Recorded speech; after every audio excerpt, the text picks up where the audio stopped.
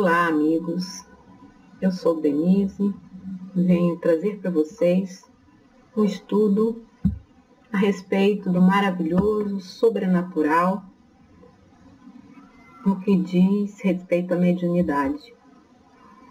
Muitas vezes nós soubemos de histórias antigas que falavam do fantástico e do imaginário, sobre crenças, que falavam sobre perseguições, mortes, sobre superstição, ignorância.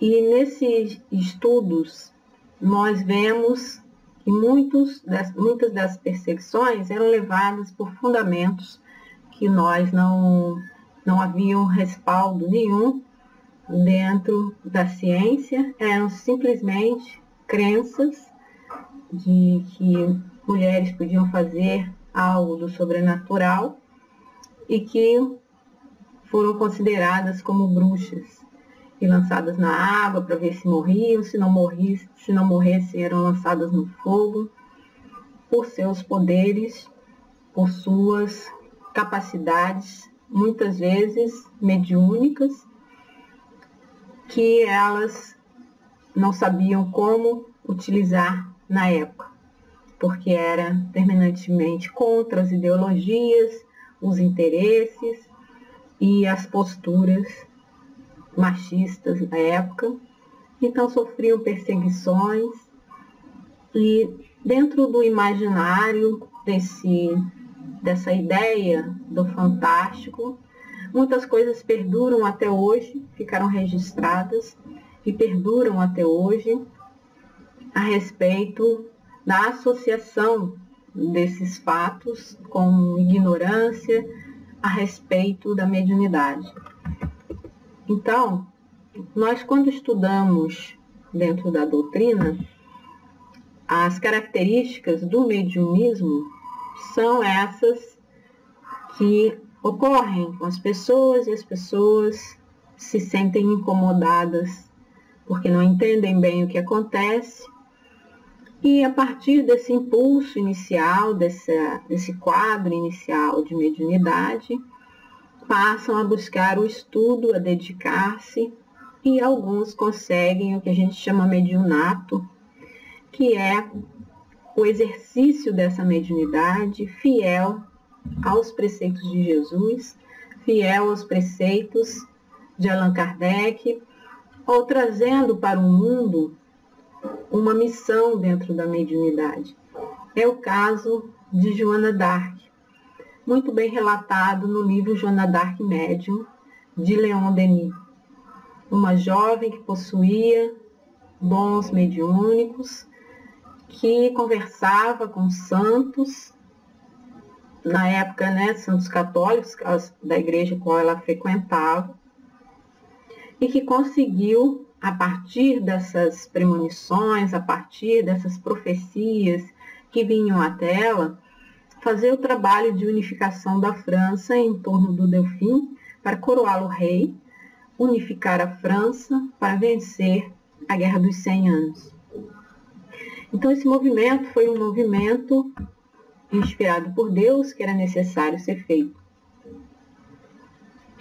Mas a médium sofre perseguições comuns na época, como eu falei, né?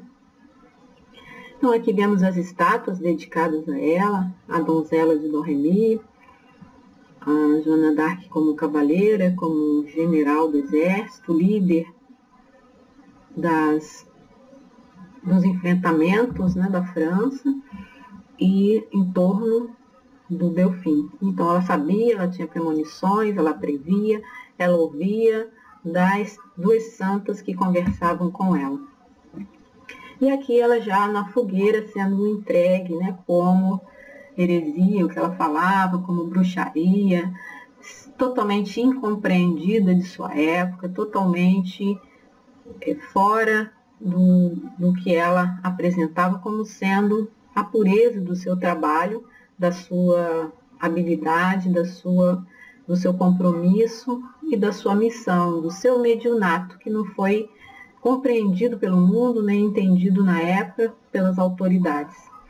Então ela diz: sim, minhas vozes vinham do alto. Minhas vozes não me enganaram. Minhas revelações eram de Deus. Tudo que fiz, fiz por ordem de Deus.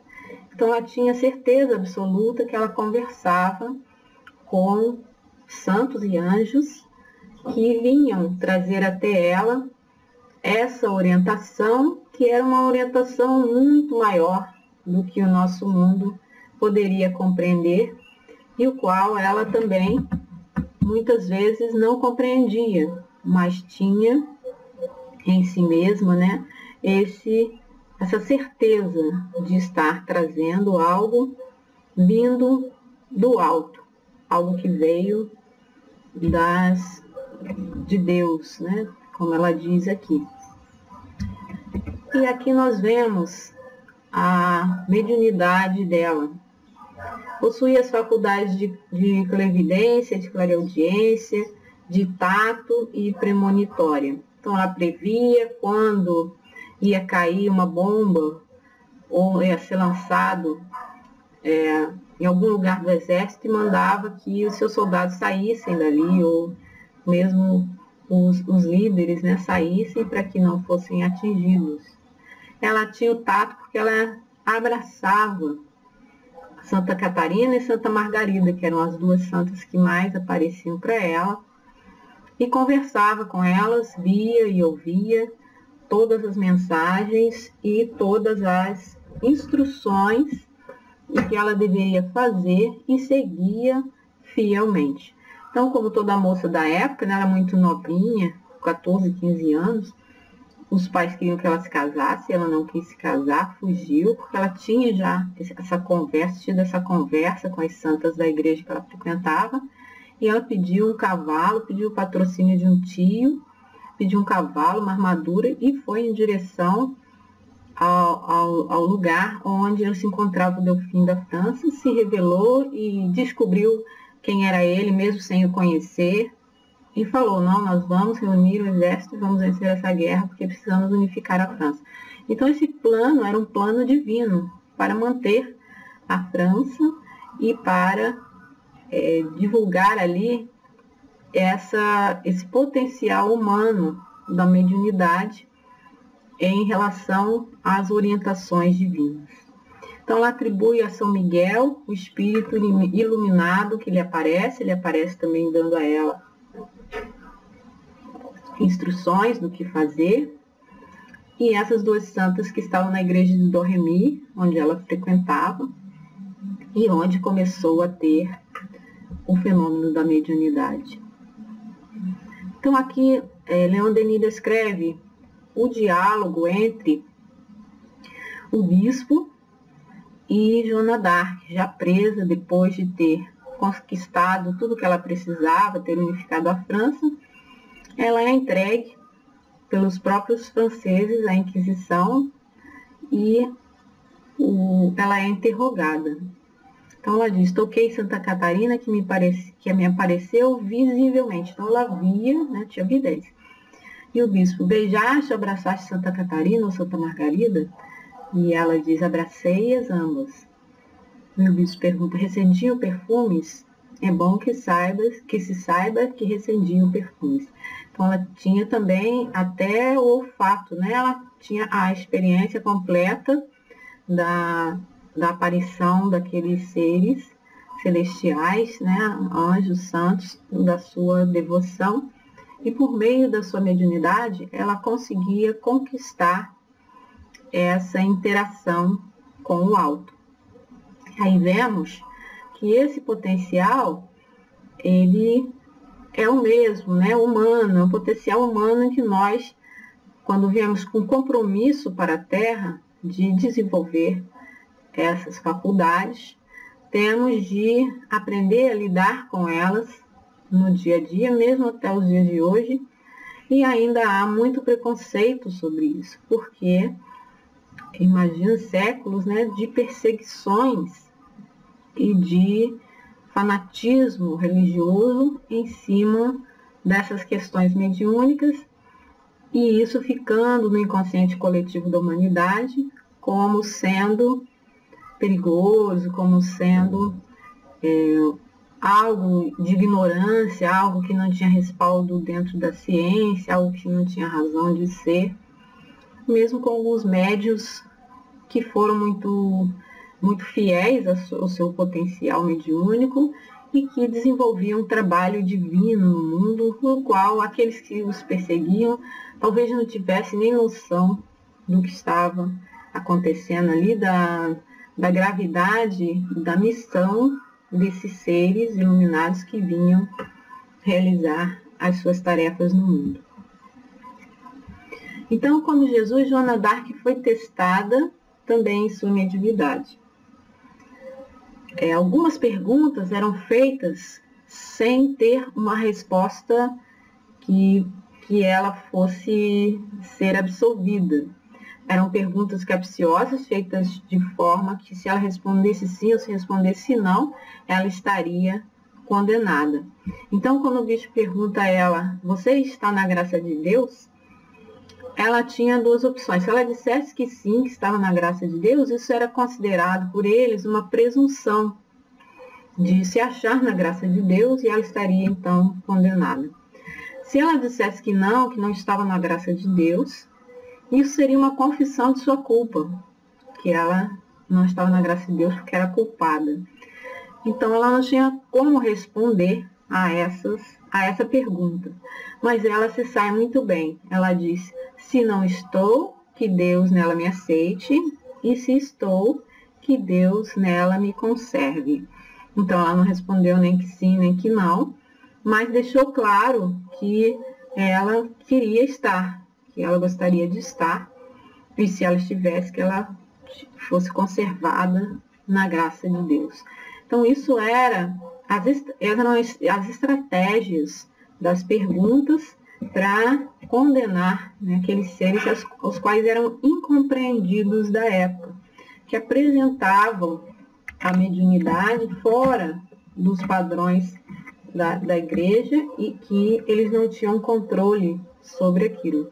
Então eram ideologias, é, direcionamentos políticos, eram interesses, muitos interesses envolvidos, os quais é, levavam a Inquisição a condenar várias mulheres, não na maioria mulheres, que apresentavam a mediunidade. Então esse caso é um caso muito famoso e está descrito por Leon Denis muito claramente, com todos os detalhes e com muito fanismo, né? Ele era também francês e, e trazia esse olhar patriota para o seu, a sua história do passado. Então, o livro é muito bem escrito e muito bem orientado, esclarecendo a respeito do que era considerado fantástico em 1400, 1430 e pouco, que é quando Joana d'Arc realiza né, sua missão, e até os dias de 1900, quando ele escreve o livro. E ele faz as pesquisas a respeito dessa, dessa personagem da história de França, que encerra todo esse, esse potencial de mediunidade e de trabalho e de acordo com Deus. Então, se a gente visse na época né, alguém usando a eletricidade, iria considerar isso bruxaria, ia considerar algo assim, um evento, um fenômeno, algo fantástico, algo maravilhoso, porque ninguém conhecia a eletricidade. Conheciam o fogo e as lâmpadas a óleo, né? Que eram comuns na época. Então, se alguém tivesse uma lâmpada elétrica ou levasse de alguma forma a, a eletricidade, seria acendeu, pronto, seria considerado como bruxo. Em 1431, quando Joana d'Arc é condenada na fogueira por seus feitos, simplesmente por não saber que era possível existir e que a eletricidade é uma lei natural do nosso mundo, simplesmente utilizada de uma forma inteligente, pegando o fluxo da corrente para criar luz. Então, de uma forma inteligente, o homem foi estudando o que acontecia no mundo, usando os recursos e aos poucos compreendendo muitos muitos materiais que nós temos hoje, muitas plantas, muitas possibilidades de organizar e de criar dentro dessas dessa matéria que nos, que nos cerca aqui e que está aqui para nos servir. E assim também dentro da, da mediunidade, dentro do, do próprio corpo do homem, foram sendo descobertas capacidades, potenciais que a ciência vai aos poucos descobrindo e que muitas vezes foram considerados como fenômenos e que hoje já temos condição de compreender melhor. Então, a época que foi, as perseguições e o fantástico que deixou no nosso imaginário essa ideia de que a mediunidade pode ser algo ruim, pode ser algo de bruxaria, pode ser algo de ignorância, isso vem da época antiga, onde a ciência ainda não tinha caminhado, onde não tínhamos como compreender o que acontecia. E agora temos um pouco mais de condição.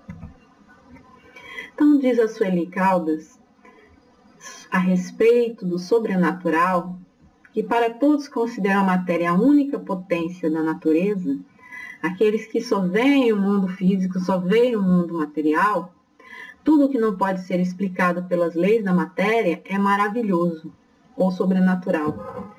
Para eles, o maravilhoso é sinônimo de superstição. Então, se ele não pode explicar por uma lei clara da ciência, ele chama de maravilhoso, de sobrenatural, e aí é considerado como superstição.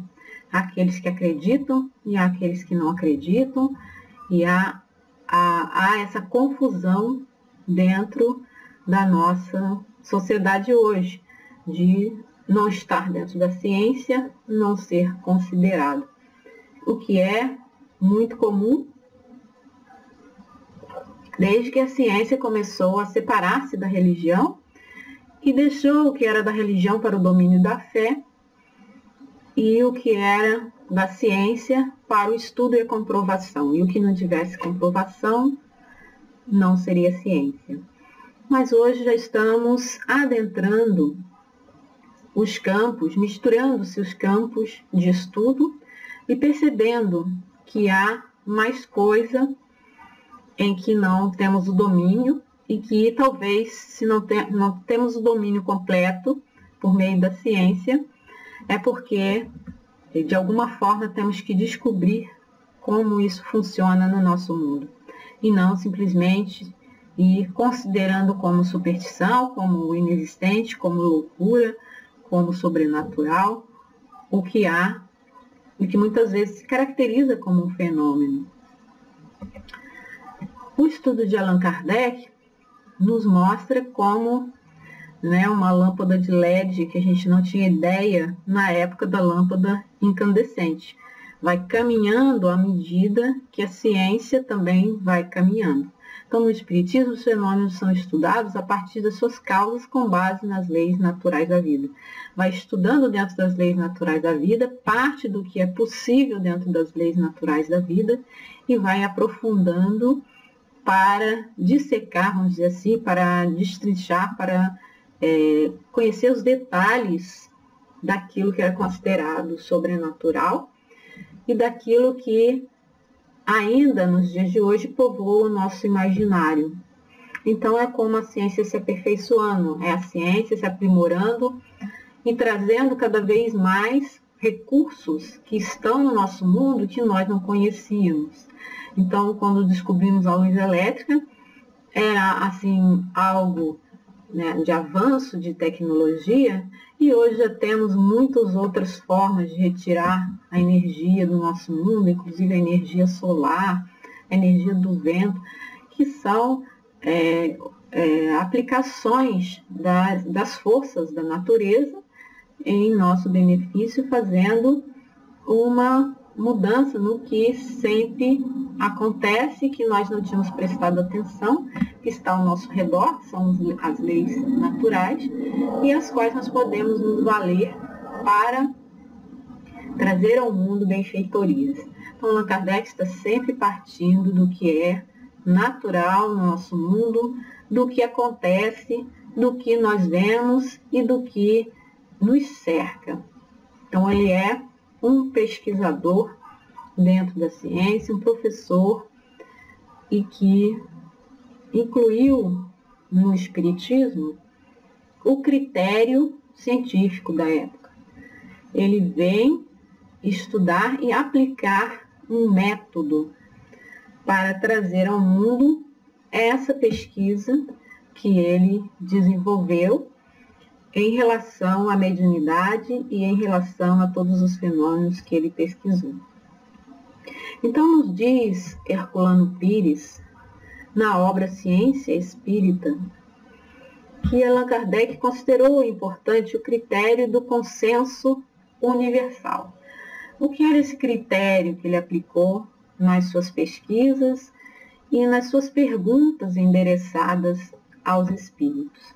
Qualquer revelação de um espírito teria de passar pelo teste inicial do consenso. Então, se o espírito trazia um conceito novo, trazia uma revelação, trazia uma mensagem, ele esperava que outras comunicações semelhantes fossem verificadas por outros médios de outros locais em outras ocasiões. E aí, nesse consenso, ele chegava à, mensagem e dava autenticidade à mensagem. Então, se um médium trazia mensagem, o outro também o mesmo assunto, né, mensagem diferente, mas com o mesmo assunto, o outro também viesse comprovar, ele dava aquilo como sendo uma verdade. Então, esse critério ele aplicou em toda a sua obra, no Pentateuco, principalmente no livro dos Espíritos, quando eram levantadas perguntas ao mundo espiritual e por meio da mediunidade de vários médios que não, nem são relatados no livro, forma-se um consenso a partir das respostas e aí é definido o que é a verdade. Então, por ser professor, por ter essa capacidade de organizar, principalmente, é, os estudos. Na época não, não havia nenhuma separação, né? um professor era professor de todas as disciplinas, e ele participava com pestalose das pesquisas na, na própria escola, né, ao redor, procurando, catalogando plantas, fazendo um estudo aprofundado e detalhado nesse sentido de organizar o mundo. Então ele pega também essas ideias que são trazidas pelos espíritos e nos dá a organização desse trabalho, que ficou conhecido como Livro dos Espíritos, dentro de uma metodologia científica aplicando esse critério do consenso universal. Então, ali é que ele coloca é, as perguntas que foram feitas e as respostas a partir dessa comprovação em vários, com vários médios. Partindo das leis naturais, ele também embasa os, os fenômenos considerados como maravilhoso sobrenatural, né? Sendo fenômenos baseados na lei da natureza, o maravilhoso sobrenatural não tem nada de maravilhoso e sobrenatural. É, muitos fatos só são considerados sobrenaturais porque se lhes desconhecem as causas. São ainda desconhecidos para o mundo. Atribuindo uma causa, o Espiritismo os coloca no domínio dos fenômenos naturais. A partir do momento que você sabe a causa daquilo, você compreende que está dentro de uma naturalidade, de uma, de uma possibilidade do nosso mundo como por exemplo as sintonias mentais e emocionais feitas a partir da vibração, no qual ele ensaia falando sobre o perispírito e a parte imaterial, né, a parte sutil, quintessenciada dos nossos corpos, atribuindo a esse, a esse aparato nosso plenamente natural, mas ainda indetectável pelos aparelhos humanos, atribuindo a esse fato, a essa causa, toda a manifestação da mediunidade. Então, se nós não temos conhecimento dos nossos corpos sutis, não tem um aparelho que possa medir dentro da ciência, a mediunidade sai dos fenômenos naturais. Agora, a partir do momento em que você compreende a causa da, desse acontecimento, é, que é o perispírito, que é comum na nossa formação trina, nós conseguimos compreender que isso está plenamente dentro das leis naturais. Então, o som é uma vibração, a cor é uma vibração, sua vida é uma vibração, os sentimentos são vibração. E a partir do que vibramos, do que pensamos, do que somos, nós conseguimos a lei da similaridade e da atração por meio dos pensamentos, por meio dos sentimentos. E nessas afinidades nós vamos nos relacionando com o mundo invisível. Então, também nós vibramos, assim como as cordas do violão vibram, vibram e se tiver outro instrumento também afinado naquele mesmo tom, vai vibrar.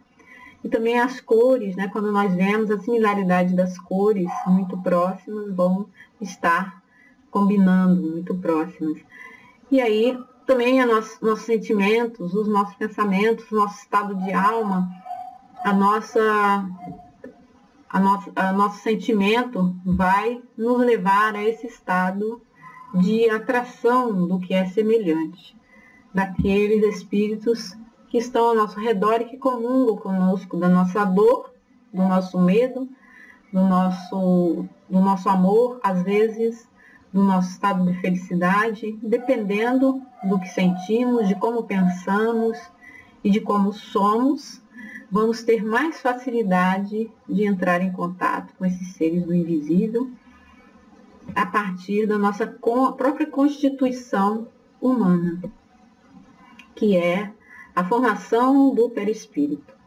O perispírito é a chave dessa interação e não há nada de maravilhoso nisso. É simplesmente uma lei natural que ainda não tem uma aparelhagem que possa medir. Tem alguns aparelhos aí que já, já conseguem ver fotos da aura, mas a, a, comprovação realmente dessas camadas do perispírito, dessa profundidade do perispírito, até chegar à essência divina, que é o espírito, ainda não se tem comprovação, a não ser né, na, na vidência espiritual. Então, a causa dos fenômenos mediúnicos, todos os fenômenos espírita têm por princípio a existência da alma, sua sobrevivência ao corpo e suas manifestações. Então, esse aí é o ponto em comum dentro do, do Espiritismo, que nos dá sustentação para entender todos os fenômenos, saindo do que é maravilhoso e passando para o que é natural. Todo, todos os acontecimentos sendo natural, porque a pessoa que manifesta esse potencial simplesmente ela tem uma bagagem maior de vivências, de experiências no contato com o mundo invisível e traz registros no próprio perispírito.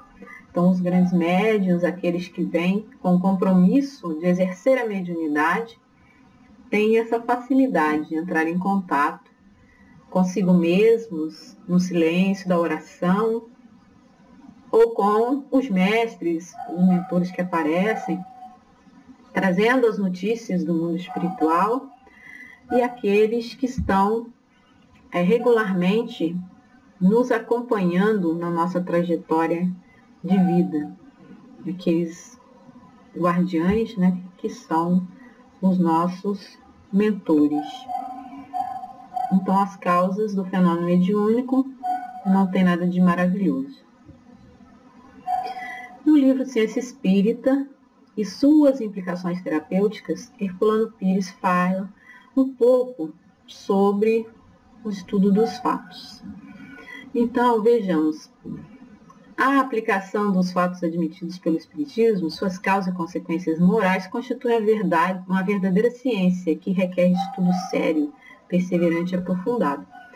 O Espiritismo converte todo o seu estudo, toda a sua comprovação, toda a sua é, pesquisa na área da, da, da ciência espiritual, converte nas consequências morais para o aperfeiçoamento humano, que deveria ser o objetivo de todo o estudo sério, de toda a escola, de todo o trabalho de, de evolução e de aprimoramento humano na Terra. Toda a filosofia, todo o tratamento deveria ter esse objetivo, modificar o ser humano para que as consequências dessa mudança sejam a melhoria do próprio ser humano, sejam consequências morais, para que ele seja um ser humano melhor a cada dia na sua caminhada pela Terra.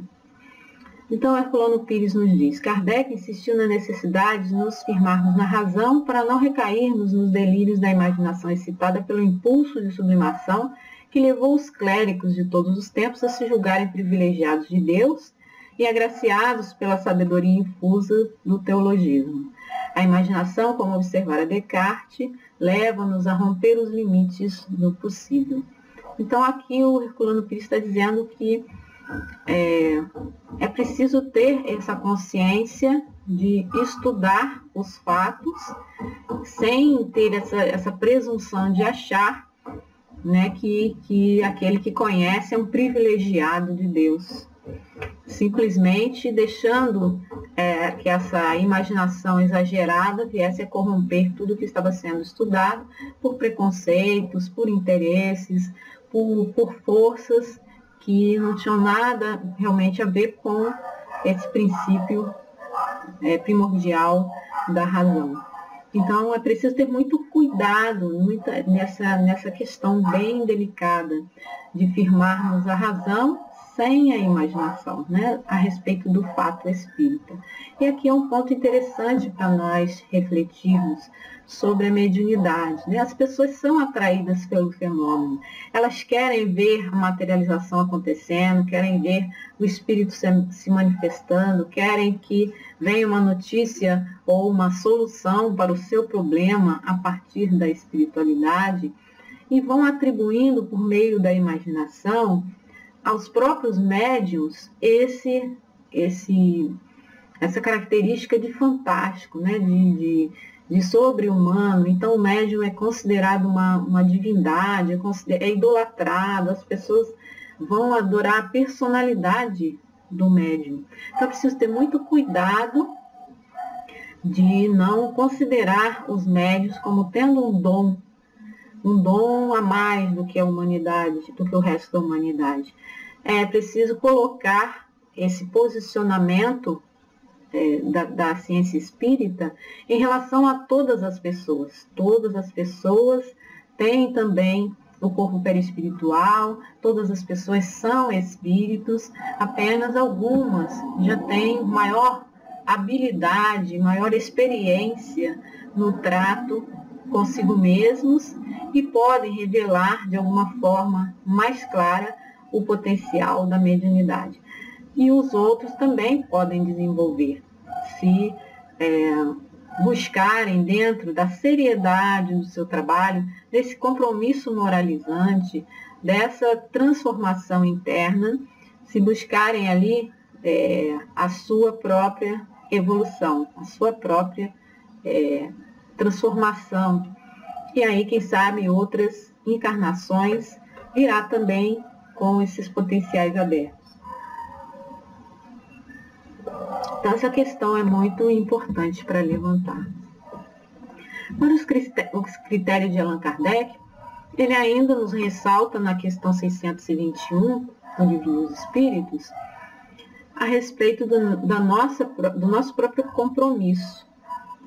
É, o Livro dos Espíritos dividido no capítulo 1 a respeito da origem e conhecimento da lei natural. E ele pergunta aos espíritos, onde está escrita a lei de Deus? E os espíritos respondem que é na consciência. Então, a partir dessa resposta, os espíritos também nos devolvem essa responsabilidade. Né? Nós temos o critério da ciência para avaliar todo o respaldo do que está sendo estudado dentro da mediunidade, dos médiuns sérios que exercem um trabalho é, de contribuição à humanidade sem, sem igual, sem par, mas também dentro de nós essa, essa busca da nossa consciência, da, do que está certo segundo a lei de Deus. Nós temos a intuição de, desse caminho, de buscar essa orientação dentro de nós, de, de acreditarmos ou não, de aceitarmos ou não, de praticarmos ou não a lei de Deus, de amor, justiça e caridade, porque esses critérios são de cada um. Então, assim, o Espiritismo devolve a cada pessoa a própria responsabilidade, porque nós não somos salvacionistas de pensar que todo aquele que está estudando a doutrina espírita será, no final, uma pessoa de bem. É preciso atribuir a responsabilidade da busca, e esse é um caminho muito bonito a cada um, onde ele vai usar as ferramentas internas e os potenciais humanos que traz nessa encarnação para revelar ao mundo aquilo que ele é, aquilo que ele veio aqui realizar. E somente interrogando a sua consciência, por meio da sua própria intuição, ele vai ter a certeza de que todos os preceitos que são trazidos dentro do Espiritismo ou qualquer outra filosofia que ele busque estão de acordo com o que ele é ou com o que ele acredita ou não. Então, essa pergunta é muito importante no livro dos Espíritos para nos dar a liberdade de escolher nos devolver nosso livre-arbítrio, nossa liberdade de pensar, de discordar e de aceitar, escolher, caminhar dentro da ciência espírita. Aqui, continuando no mesmo tema, a nossa conexão com Deus. Então, sabemos que temos escrito na consciência a lei de Deus, nos dá esse sentido da, da intuição das coisas sagradas dentro de nós, essa nossa conexão com o alto por meio da mediunidade, é, seja ela em qual nível que for, em qual potencialidade que for, qual capacidade que for, nós trazemos dentro de nós essa intuição do que é sagrado, do que é elevado, do que é um, que sai do âmbito da materialidade e passa para o âmbito da espiritualidade. Trazemos dentro de nós essa luzinha da intuição. Todo aquele que medita, que reflete sobre as palavras do Cristo, entra em contato com o que há de divino. Então, aquele que passa somente aos olhos, né, nas palavras vindas do Cristo, ou nos estudos espíritas, que não reflete com o coração, que não pensa né, sobre aquilo que leu durante o dia, esse não vai conseguir achar dentro de si esse contato com o divino. Mas aquele que usa aquelas palavras, que faz durante o evangelho, faz aquela leitura, ou lê as mensagens do Cristo, e que realmente pensa sobre aquilo, ele vai entrar em contato consigo mesmo, com esse canal de luz interno que se revela por meio do seu pensamento, da sua intuição, por meio do seu coração que vai se abrandando, por meio da, do relevar o mal do mundo, por meio de encontrar motivos e inspirações para praticar a caridade. Então, essa é a grande transformação interna quando a, a mensagem do Cristo realmente faz dentro de nós algum significado. Quando você constrói um significado a partir da palavra do Cristo, a partir do estudo espírita, a partir do texto que você leu e que ficou na sua memória eh, durante o dia. E aí nós temos o mediunismo e a mediunidade, também um texto de Sueli Caldas. Não se justifica que a mediunidade seja encarada em nosso meio como alguma coisa sobrenatural e os médios como pessoas portadoras de um dom maravilhoso que os torna seres de parte diferentes dos demais. Tudo isso é fruto unicamente da falta de estudo doutrinário. Então ela está aqui é, comentando a respeito do que estávamos dizendo, que o médium não é nenhuma pessoa especial, nem, não tem nenhum dom maravilhoso, não há nada de diferente nele. Simplesmente falta estudar o que acontece com o perispírito, qual é o processo que a mediunidade revela, quais são os compromissos daquela alma no mundo, que ao contrário do que as pessoas pensam de ser um dom maravilhoso, geralmente é um compromisso muito sério, é uma expiação, é uma prova muito dura trazer a mediunidade. E muitas vezes são considerados ainda por causa desse, desse resquício que ficou do que eram as perseguições, do que eram é, contrários às ideologias da época, ficou essa ideia do fantástico. E aquela pessoa maravilhosa, fantástica, porque nem a igreja queria que ela sobrevivesse de tão maravilhosa que ela podia revelar coisas contrárias à ideologia. Então, quando a codificação já é esquecida, os postulados básicos da doutrina espírita sequer são conhecidos, restará apenas o mediunismo ou o sincretismo religioso. Nesse campo maravilhoso, sobrenatural, império. Então, quando você deixa de lado o estudo sério, quando você não sabe os porquês do que você está fazendo, você acaba entrando por esse lado do sincretismo religioso, você entra pelo lado do mediunismo sem essa, esse esse, essa orientação do alto, dos espíritos, é, dentro de uma casa séria, dentro de um trabalho sério, e acaba por perder a, o próprio compromisso com a mediunidade.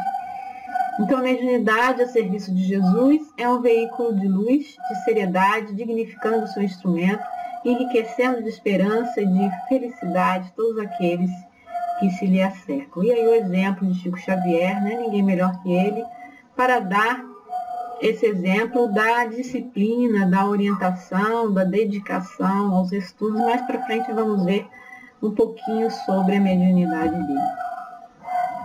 Então, buscando as bases no ensinamento de Jesus, que nos diz que a árvore que produz maus frutos não é boa, e a árvore que produz maus frutos não é má. E ele continua no seu ensinamento. Cada árvore se conhece pelo seu próprio fruto. Guardai-vos dos falsos profetas que virão ter convosco, cobertos de pele de ovelha e que por dentro são lobos rapazes.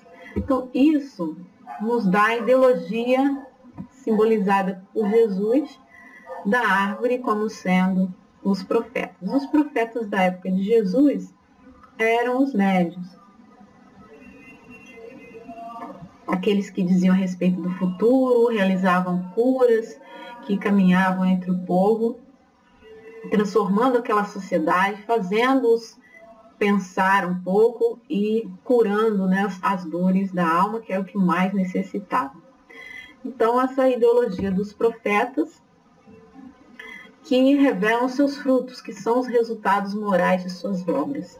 Como podemos avaliar, medir a tarefa mediúnica? Como nós podemos analisar se esse médium é um bom médium ou não. A árvore má dá maus frutos, a árvore boa dá bons frutos.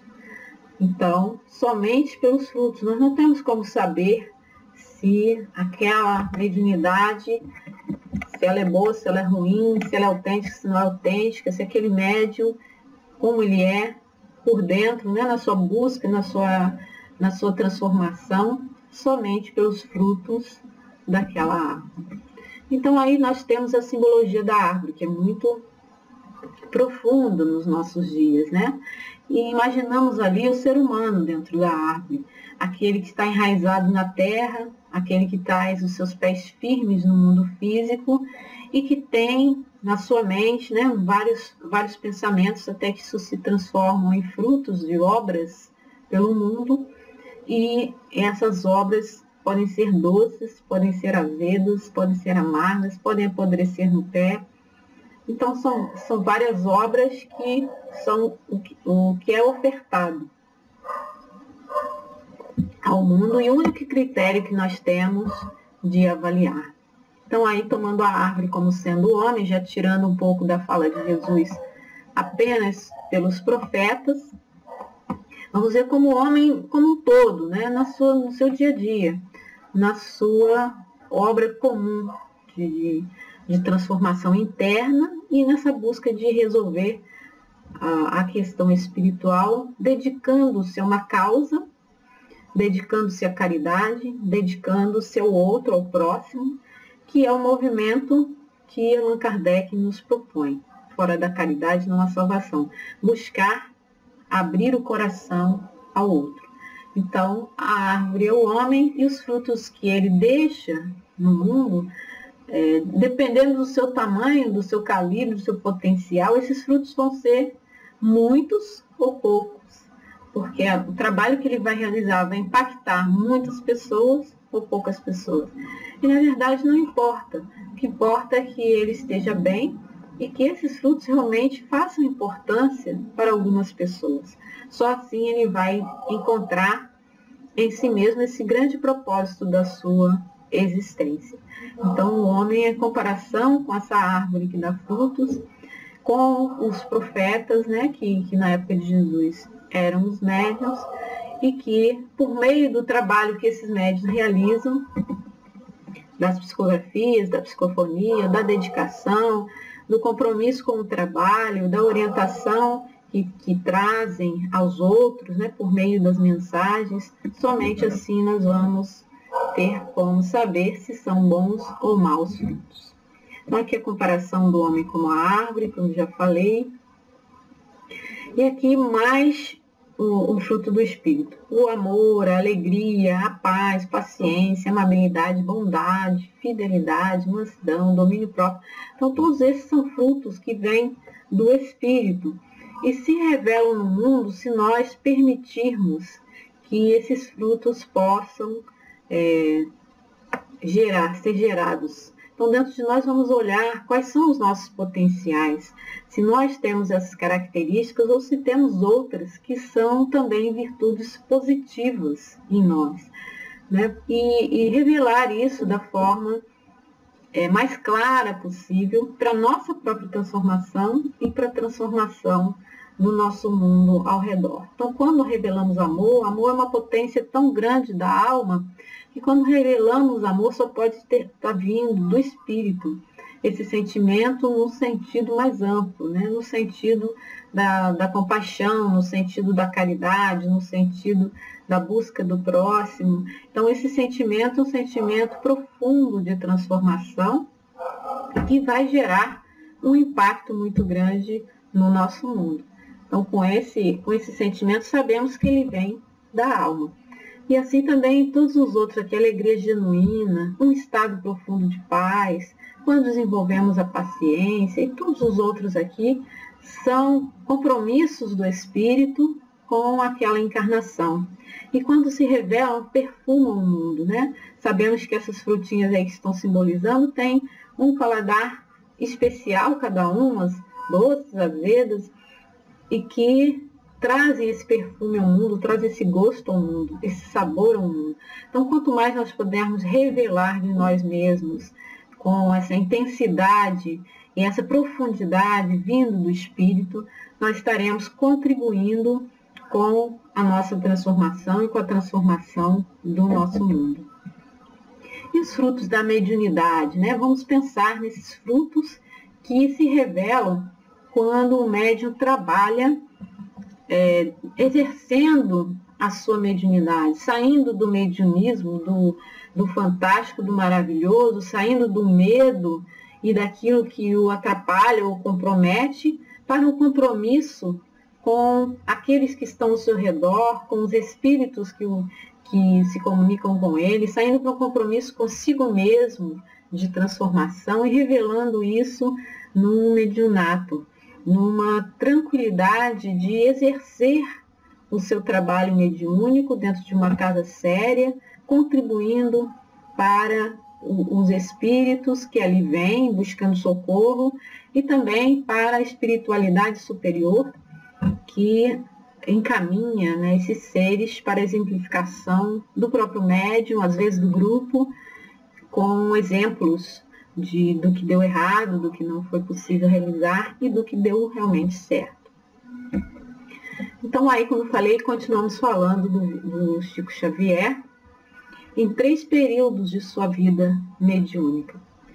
Em primeiro, quando ele não entendia nada, porque que ele, aos cinco anos, via a própria mãe, e era criança ainda, né, na matéria física, e já tinha esse, esse potencial totalmente desenvolvido, e que era para ele um incômodo. Toda criança com muito potencial mediúnico, é, é preciso ter uma orientação muito, muito próxima, né, e uma talvez uma equipe de trabalho que a oriente para entender o que realmente se passa com aquela criança.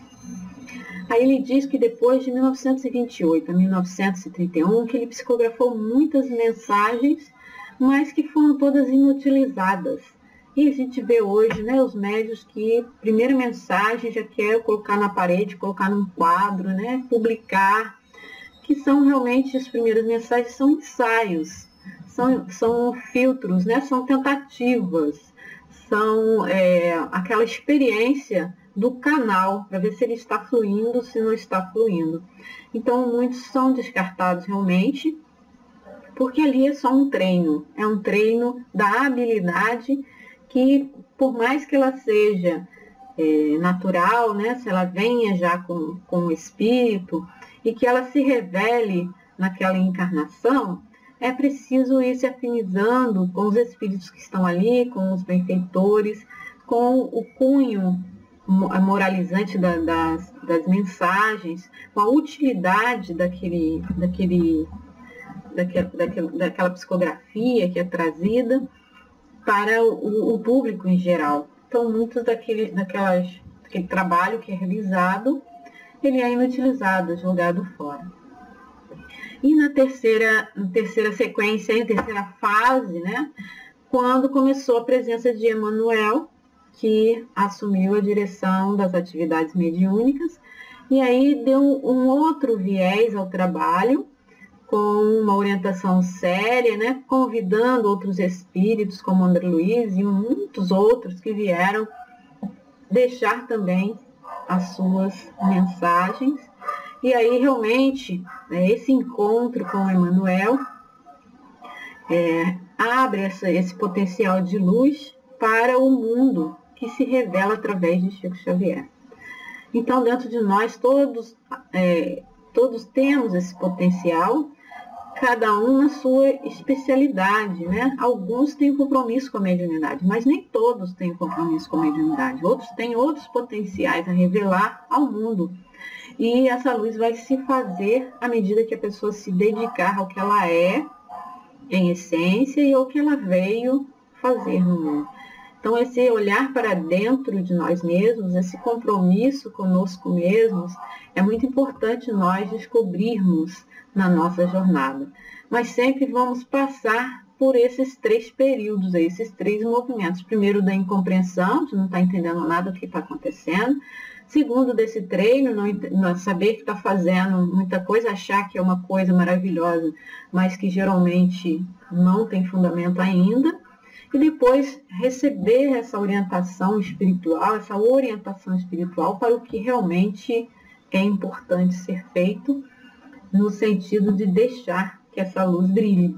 Então, todos nós trazemos essa luz ao mundo, cada um na sua especialidade, cada um na sua habilidade, no que você traz de melhor e que é mais fácil fazer, né? É muito claro encontrar qual é esse propósito de vida, qual é a sua missão, qual é a sua habilidade, é quando você realiza algo que é, realmente você não vê a hora passar, você se sente muito bem, você se sente tocado por, essa, por esse trabalho e, e traz um entusiasmo, uma alegria muito grande ao realizar.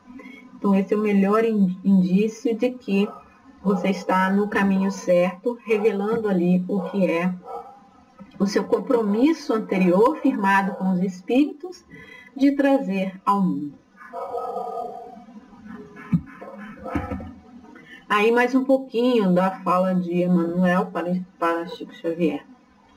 Estudo e trabalho com disciplina e dever cumprido.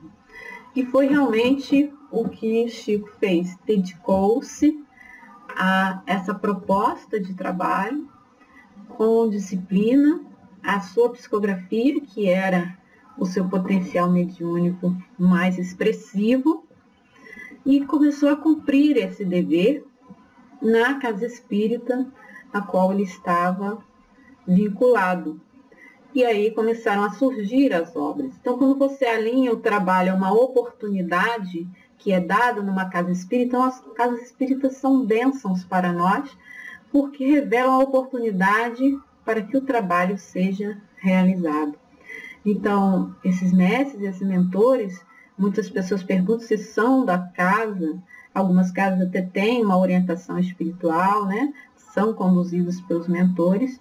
Muitas vezes também a própria pessoa tem o seu mentor, seu guardião, que se revela e que a acompanha esperando apenas a disciplina para cumprir o dever, para cumprir com esse propósito que é do espírito, cumprir com o que o espírito combinou lá no mundo espiritual que viria aqui na Terra realizar e o qual muitas vezes nós esquecemos, porque encarnamos com esquecimento e vamos dar curso a tudo que é da vida física, deixando de lado o que é do espírito. Então é muito sério esse compromisso nosso e prestarmos atenção se ele está sendo cumprido com essa mesma seriedade. Então, uma casa séria te dá a oportunidade de convivência em um grupo espiritual, de entrar na proteção e nos eflúvios desse grupo, para que os seus mentores também participem e possibilitem o trabalho e o estudo, que é o nosso potencial de crescer. Com a, a disciplina científica elaborada por Allan Kardec, o seu método, os seus, seus livros, livros e também de outros espíritos né, que nos dão toda, toda a base da doutrina e que nos, nos compromete ali com a verdade. E esse compromisso com a verdade vai nos aclarando a, vi, a visão e a consciência para esse trabalho e vamos saindo do maravilhoso, do fantasioso, do supersticioso e entrando no âmbito da seriedade, do dever cumprido, do estudo sério, da compreensão do fenômeno que nos acontece. Então, o mais importante é compreender a sua própria mediunidade, como ela se revela e qual é o seu maior potencial para o mundo, que esse é o principal objetivo. E aqui no final tem uma historinha de Chico Xavier, que é sobre a evangelização dos meninos. Ele estava, certa feita, com várias crianças que ele costumava evangelizar, mas que é, o padre tinha proibido quando soube que ele era espírita. Então as crianças foram à casa dele para ele continuar evangelizando. E ele levou-os todos para embaixo de uma árvore para dar as lições do evangelho. E lá embaixo da árvore ficou pensando né, que não tinha nada, que na, na, na, na igreja eles, eles tomavam um lanche. E que ali na casa dele, ele não tinha nada a oferecer àquelas crianças. Aí pediu ajuda mental, orando, pedindo ajuda. Não tenho nada para dar a essas crianças, como eu posso fazer? E aí começou um vento muito estranho na árvore, fazendo um barulho. E o vento movia a árvore, fazia o barulho, derrubava folhas, né? E ele continuou lá de baixo. Daí a pouco uma vizinha abriu a janela. Que é isso, Chico? Que barulho é esse? Aí ele, é o vento. Aí ela falou assim, essas crianças? Ah, essas crianças vieram ser evangelizadas. Ah, eles estão sem comer? Eu vou levar um suco. Aí ele conseguiu um suco. Daí a pouco, outra vizinha faz, que, que barulho é esse? Aí ele falou, não sei, é o vento. O vento está sacudindo a árvore aqui. E essas crianças? O que estão fazendo aí? E aí estão sendo evangelizadas. Ah, eu vou levar um bolo. E assim ele conseguiu, com a própria vizinhança lá, com aqueles que estavam ao redor, é, os recursos para alimentar aquelas crianças e agradeceu profundamente a espiritualidade por ter soprado aquele vento, promovido aquele barulho estranho, chamado a atenção das pessoas para o que ele estava fazendo. Então, assim, é, contribuem para o, o, as nossas causas, né? se são causas honestas, se são causas é, frutificantes, né? quando a gente vê os frutos da mediunidade, é isso aí, o trabalho que se revela em relação aos outros, afinizando-se com o mundo espiritual, o mundo espiritual tomando conta ali né, do processo e recebendo aquele apelo dele, aquele pedido, aquela oração que ele fez, fazendo ventar para que chamasse a atenção dos vizinhos que também se mobilizaram pela caridade. Então é assim que acontece quando nós entramos nesse fluxo da, do trabalho em direção ao próximo, nesse, nesse, nessa organização interna da nossa própria é, potencialidade mediúnica, é, saindo do medo, da ignorância, do fantástico, do maravilhoso, para acertarmos a nossa trajetória de vida, que vai nos dar maior estabilidade, maior paz interna, com a consciência, né? Aquela, a lei de Deus escrita na nossa consciência, ela vai nos dar paz, porque nós sabemos que estamos cumprindo o nosso dever. E aí esse fluxo começa a envolver várias pessoas, seja a vizinha, que talvez não tivesse nem é, nenhuma orientação religiosa ou que não tivesse nenhuma proposta de caridade, teve uma oportunidade de ajudar aquelas crianças que ali estavam e realmente contribuiu para o trabalho que o Chico estava realizando. Então, assim acontece no mundo espiritual. Todas essas coincidências e todos esses encontros que são necessários para que o homem expresse esses seus valores.